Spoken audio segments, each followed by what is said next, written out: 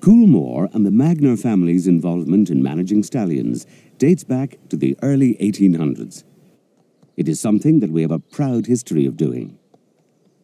In managing the stallion yard today, many of the work practices are underpinned by principles that have been handed down to us from previous generations.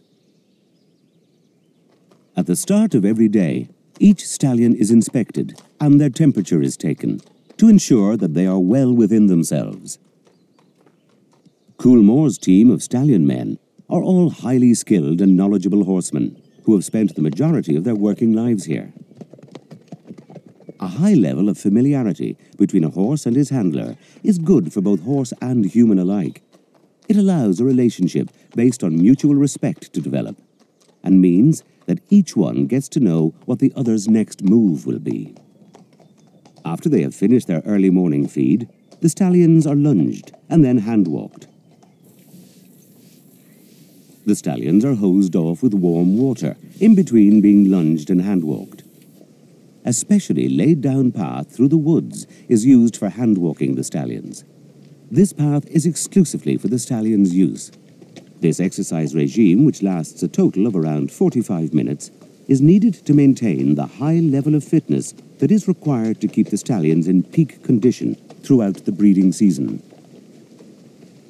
While the stallions are being walked, their boxes are mucked out and fresh hay is given. Hoof conditioner is applied on a daily basis to maintain their feet in the best possible condition.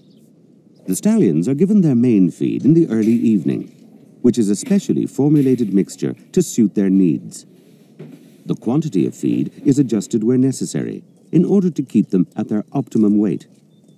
As an additional means of monitoring their well-being, the stallions are also weighed each week.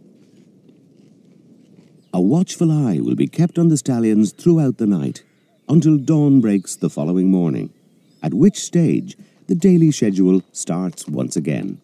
Routine and familiarity is paramount where stallions are concerned, and both help to create an environment under which these magnificent thoroughbreds will thrive.